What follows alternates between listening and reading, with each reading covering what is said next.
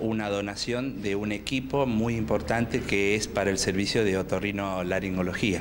Así que bueno, tuvimos una fiesta el mes de diciembre donde fuimos eh, invitados en una cena y bueno, como sorpresa y, broche de oro de esa hermosa reunión que, vivimos todos juntos, recibimos la confirmación de este equipo que es muy importante y era anhelado para, con el servicio. La idea surge a partir del aniversario del club. En diciembre nosotros cumplimos 40 años de la formación de, de Rotary Club Rafael Oeste y la forma de celebrarlo fue convocar a los miembros sostenedores, a personas que confían en nuestro club y hacen donaciones, y eh, con la sorpresa que dijo, que comentó Jorge, de anunciar la donación de un equipo que es necesario en nuestra ciudad y zona.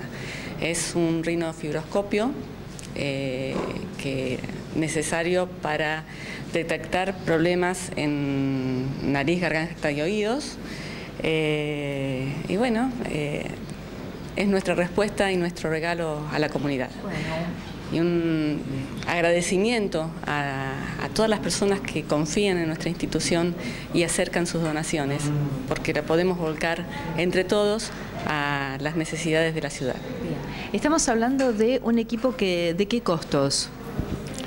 El costo es muy importante, es arriba de 100 mil pesos.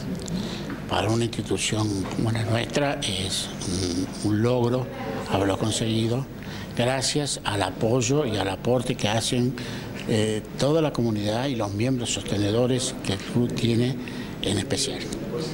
¿Cuántos integrantes tiene el club? 16 eh, socios en este momento. Y estamos tratando de que ingresen más gente porque más este, mayor el número, son mejores las personas que tratan de, ayudar en el, movimiento que tiene el club. ¿no? ¿Qué significa para ustedes recibir el equipo? Eh, es renovar eh, una vez más el apoyo que tenemos de la comunidad toda y de las instituciones, en que hace que eh, se sume a lo que son el avance, el crecimiento por parte del hospital.